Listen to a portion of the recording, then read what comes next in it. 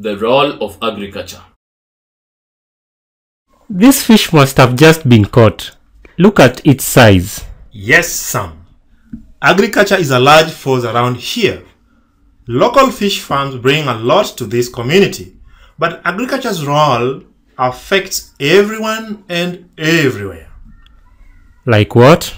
Well, the most obvious role of agriculture is food supply.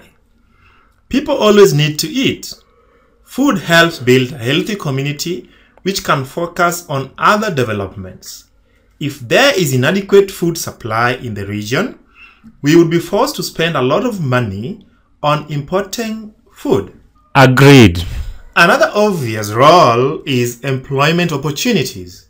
Now, growing up, I had a source of income from working in the fields, and that is only the start of jobs in the business. There are scientists who do research on soil, drivers for the large shipping trucks, and agro-based factories. I hope one day I get a chance to run a farm. I would try and trade my coffee with cocoa beans from Ghana. That is possible. Your coffee beans will be the raw materials that can be bought by industries and shipped to other countries. I guess that also provides foreign exchange for the country. Good guess. As Kenya grows to be a global economy, we will need international countries to purchase our exports.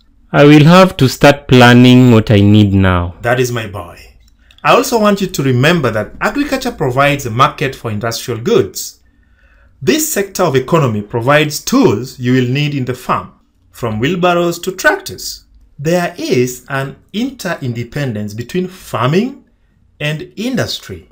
Mutual benefit, you mean? Yep. This creates a market where selling crops and livestock makes money, and farmers will spend the money to improve their livelihoods.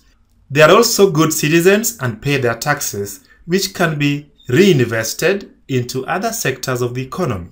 Wow, that is a lot.